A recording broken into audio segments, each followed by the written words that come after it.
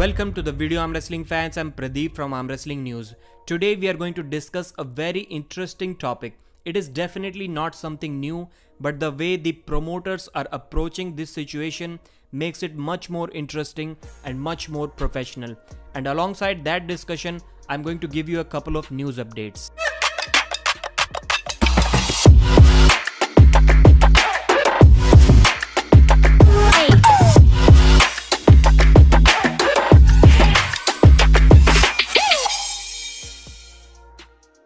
The first news update is Neil Pickup has cancelled the Ryan Bowen vs Bogdan Stoica super match for his Arm Wars Iron House 2 event which is going to be held on 3rd and 4th September. So what is so special about it? The thing that Neil Pickup openly said it that he was monitoring the Ryan Bowen versus Coach Ray super match and Ryan did not impress him with his performance. That is why he's cancelling this match.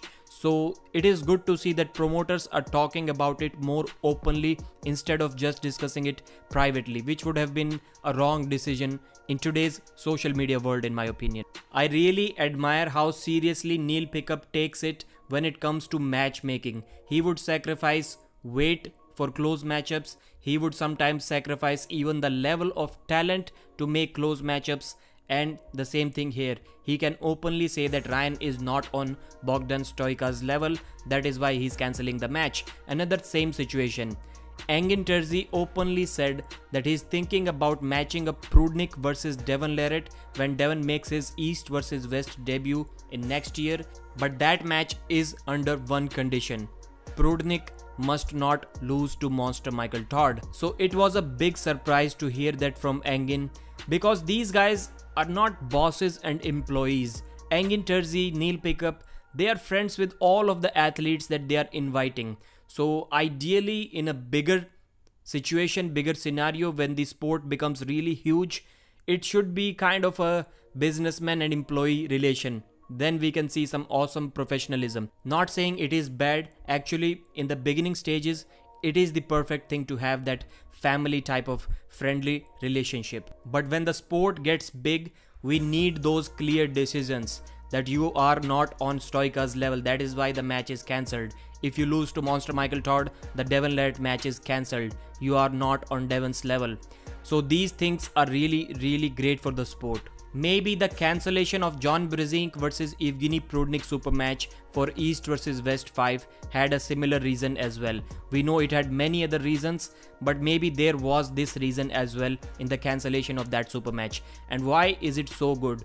Because athletes will now have to take it even more seriously. They are not just preparing for this super match and actually preparing for the future opportunities as well.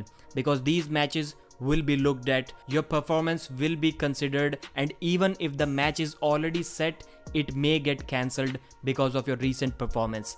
I wish, I hope King of the Table is also doing the same thing. We have not seen anything like this publicly but i am sure they are also doing these kind of things in today's social media world because there is no scarcity of super matches now. It was understood that these matches may not have been cancelled 2 3 years ago because there were just not enough super matches.